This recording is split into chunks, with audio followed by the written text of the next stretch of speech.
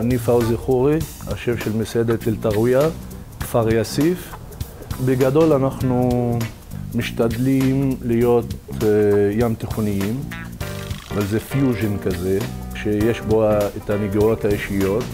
אתה תמצא כמו קדרה, אתה תמצא טאז'ין, אתה גם תמצא סטייקים, פירות ים, דגים, אבל הכל בא מנוסטלגיה כזאת, עכשווית, נקייה, אסתטית, יפה, סקסית.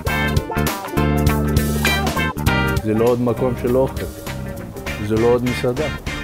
זה חלום שהתגשם, זה אנשים שאוהבים לתת מהלב, זה אוכל שמדבר על אנשים, וזה הרבה מאוד היסטוריה אישית וכללית שנוצרה והיא עכשיו על צלחות. אני מזמין אתכם לחוויה קולינרית של סוף עולם.